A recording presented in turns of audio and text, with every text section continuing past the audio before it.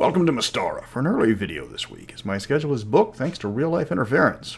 This week we are looking at one of the most interesting traditions of the Traladaran people of Karameikos, the shearing. This is when a child decides they want to be an adult and is formally kicked out of the family for a few years to learn a trade. When the child has learned enough that the family is pleased, they're accepted back into the fold and recognized as an adult. While originally just a Traladaran custom, it has been accepted by the Thyatians living there as a great way to get rid of freeloading relatives. I'm Mr. Welch, and it's time to grow up. The shearing is a major part of every Traladaran teen's life, as it is the last step in their childhood before they're considered full adults. Every male child goes through with the shearing. It's not required of girls, but they can request it. A girl that undergoes the shearing is held in higher regard by her family than one that doesn't. The earliest age a child can undertake the shearing is 14, but if they haven't done it by the age of 19, the family will ask the boy to undertake the shearing. Being asked to undergo the shearing is considered a great embarrassment and causes people to view you as a freeloader. The ceremony itself is a somber occasion, involving most members of the extended family, and even village elders are invited. A fine old dinner is held for the child, where the family talks about the child growing up and all the important events in his life. After the dinner, the child is then dressed in traveling clothes, including a cloak. The head of the family will then use shears to tear off the bottom of the cloak, leaving it ragged. Once sheared, the child is no longer considered part of the family, though they are still friendly. The child is expected to find their own way, learn a trade, or even take up adventuring until the family has decided that they've become adults. The Thyatian nobles at first thought this tradition was a curiosity until they started seeing the merit behind it. The nobles quickly adopted the traditions themselves, forcing their own children to make their own way in the world. While this is not legally required, it is heavily pushed on Thyatian children. Thyatians that want to be accepted by the Traladaran subjects are expected to undergo the shearing when they're a teenager. Thyatian children that are on their shearing lose any noble status until they're accepted back. While attacking a child on their shearing is a heinous crime that usually ends in a lynch mob, noble children are still a priority target for bandits and slavers. A sheared child has numerous options to prove his worth, normally by taking up an apprenticeship or a trade. A few that have shown talents in the arcane or the martial skills can find employment in adventuring groups, and while that's one of the most hazardous professions possible, it's also the fastest way to return to the family. Many children go to tradesmen known to be looking for apprentices and return to the family once they've earned the rank of journeyman. Others take up professions nearby, such as farmhands or town guard. A few venture abroad, becoming sailors, or in the case of children living near the borders, finding work in Darokin, Thyatis, or even Ylaruam. Life as a sheared child is difficult. They can't go back to their family for help. They have just the coins given to them by their parents. As their starting funds aren't much, it's important they find work early. Almost all children plan their shearing in advance, talking to the local merchants and tradesmen to find who is hiring before asking to be sheared. The local churches are another common source for children seeking work, as numerous clerics in the various temples were sheared children who decided to take up the mantle of the immortals. A major threat to sheared children is the Iron Ring, who considered children separated from their parents and looking for work easy prey.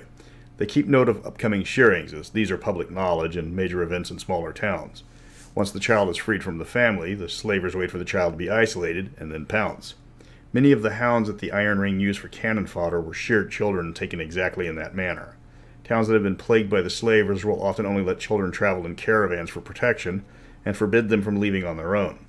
The Iron Ring will try to entice the children to leave on their own, often trying to befriend them and give them gifts of gold and alcohol to gain their trust.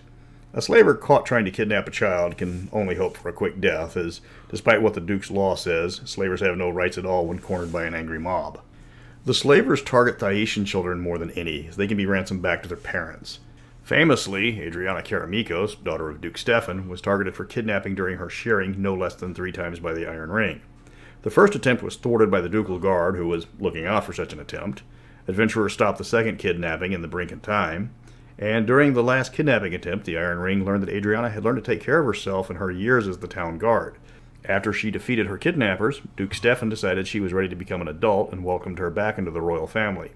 Conversely, her brother Justin served as a sailor on a merchantman and finished his shearing without interference. The end of the shearing is a momentous occasion for a family as their child has returned as an adult. Communication isn't forbidden between the family and the child during the shearing, in fact, it's quite common but the child is considered a family friend rather than a relative. As the child reports back on any progress during the time away, the family will begin planning to accept the child back once they feel the child has gained enough knowledge and experience to manage on their own. Once the child has earned his place in the eyes of the family, they will send a letter or a messenger to him letting him know that it's time to return once all of his duties are fulfilled. Usually this takes about two years to be invited back, but sometimes it takes longer. In rare cases, the child will disgrace the family name by turning to crime and will be dispossessed, forever cut off from their family.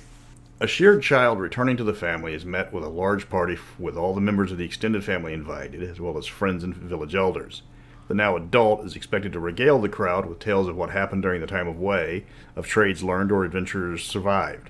Once the dinner is finished, the elder of the family takes the old cloak from the child, gives him a new cloak with the family seal on it. With this gift, the child is now an adult in the eyes of the family as well as the Traladaran people. The other party guests will present gifts to the newest adult of the family so that he can start a life apart from them. Anyone who has completed his shearing is a full adult in the eyes of the law and is free to marry or even start a business. The shearing provides for a whole host of adventure hooks for players in Karameikos. Obviously, keeping slavers from kidnapping children is a time honored plot, but there's also the case of children who want to tag along with the adventurers to learn a new trade a young wizard who has just learned her first shield spell and wants to be the party wizard's apprentice will have to be closely guarded or let down easily. If the characters are in a long campaign, there's a good chance they will watch their own children go through the shearing and then have to remember they have to let the kids do it themselves and they can't help. Thus ends the shearing ceremony of Traladara. It's a minor aspect of Mystara, but it's quite flavorful and gave the setting a memorable tradition that drew in players to the lore. It's the little things that make the settings good. It doesn't always have to be floating castles and epic level NPC cameos.